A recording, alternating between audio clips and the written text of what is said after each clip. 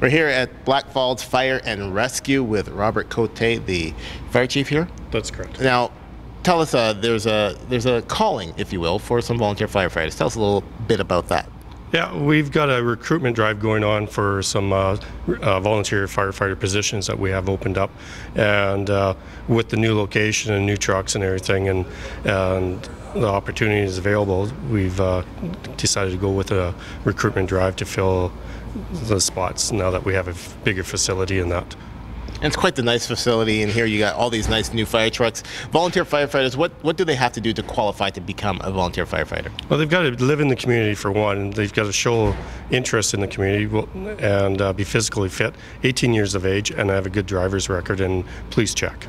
Is there a testing that goes with it? I know, like obviously, to become a firefighter, you don't just walk in and say, "Hey, I'm a firefighter," you know, and you know, with a box of donuts, right? You have Right. to actually be in shape. But is there testing that goes on with the volunteer firefighters as well? Yes, and uh, we do have, we're starting to look at the recruitment physical fitness conditions to give the, it also gives them an example of what to, is expected of you. And It's just not come down and just jump on a truck and away you go. So you've got to be able to lift hoses, move ladders, not be afraid of heights. Right, or confined spaces and uh, and that. So, with the practice and the training, some people find out that they didn't realize they were claustrophobic, for example, and this is a learning experience, and it's like, oh, well, maybe I can't do it, and maybe I can do it. And as they progress, they get better, and more confidence is in, ensured into the, the volunteers. And that's great to know because you know if you have somebody that is afraid of heights or anything like that, you know that's one that's one place to find out. It's not the best place, but it's one place.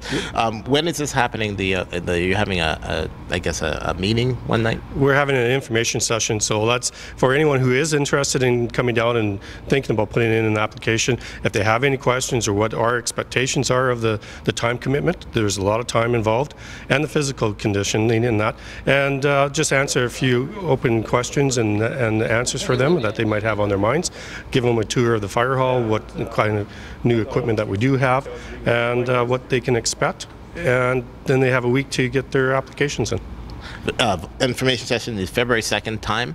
That's actually January 30th, Yeah, Monday, sorry. and it's uh, from 7 to 8:30 in the evening here here at the new location at the fire hall at 4401 South Street in Blackfalds. Excellent. Thank you very much. That is Robert Cote. Remember, January 30th, not February 2nd. January 30th, happening here in Blackfalds at the Fire and Rescue Department.